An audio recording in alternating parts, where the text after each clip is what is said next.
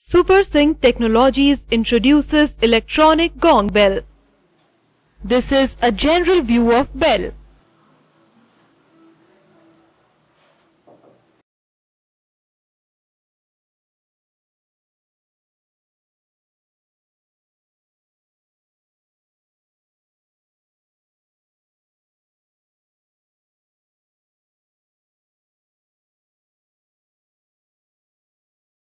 These are the mounting holes.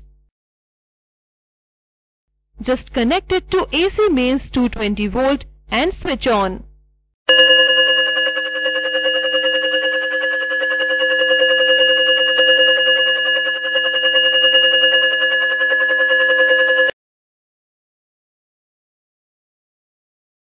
To change over to second sound, remove jumper from first set of pins and put it to second set of pins.